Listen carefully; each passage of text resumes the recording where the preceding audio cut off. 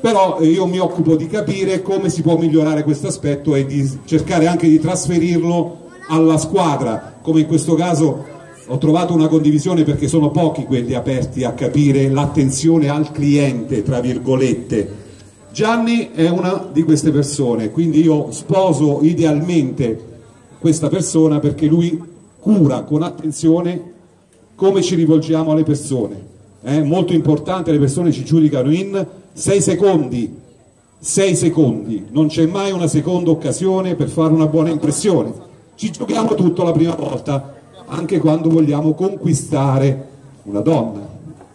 Ok? Quindi è molto importante perché poi se facciamo una cattiva impressione è vero che si può recuperare, però ce la giochiamo in salita, quindi è molto bene prepararsi. Oggi pochi uomini si preparano, vanno così allo sbaraglio. Io sono molto dalla parte delle donne, per quello vorrei recuperare la cavalleria, cioè si va così, tanto per, per non dire delle cadute di gusto, lasciamo perdere.